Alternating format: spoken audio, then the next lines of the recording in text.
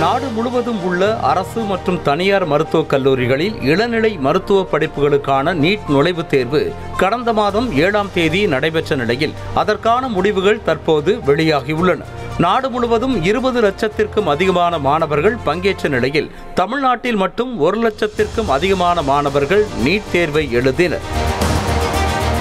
அதில் தமிழ்நாட்டைச் சேர்ந்த எழுபத்தி எட்டாயிரத்து அறுநூற்று தொன்னூற்று மூன்று மாணவர்கள் இந்த ஆண்டு நீட் தேர்வில் தகுதி பெற்றுள்ளனர். குறிப்பாக தமிழ்நாட்டைச் சேர்ந்த பிரபஞ்சன் என்ற மாணவர் அகில இந்திய அளவில் முதலிடத்தை பிடித்து அசத்தியுள்ளார். மேலும் முதல் பத்து இடங்களில் தமிழ்நாட்டைச் சேர்ந்த நான்கு மாணவர்கள் இடம்பெற்று சாதனை படைத்துள்ளனர்.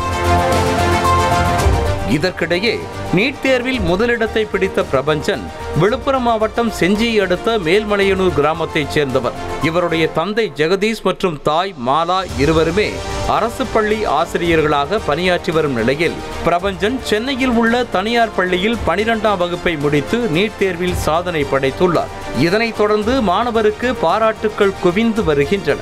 நீட் தேர்வில் முதலிடத்தை பிடித்தது மிகவும் மகிழ்ச்சியாக உள்ளதாக பிரபஞ்சன் தெரிவித்துள்ளார். சூப்பர் எக்ஸைட்டட் நோ செம்ம ஹாப்பி ஆப்வியஸா அதான் பயங்கர ஹாப்பி ஸ்பீச்லெஸ் நோ என்ன வர சொல்றேனே தெரியல. செம்ம ஹாப்பி நீங்கள் இப்போ நீட்டுக்கு வந்து படிக்கும்போது வந்து பார்த்தீங்கன்னா இந்த ஆல் இந்தியா லெவலில் ஃபர்ஸ்ட் வரும்னு நீங்கள் வந்து நினச்சி பார்த்தீங்களா இல்ல ஆப்வியஸா டாப்ல வருவேன்னு தெரியும் பட் ஆல் இந்தியா ஒன்ல நான் எக்ஸ்பெக்டே பண்ணல.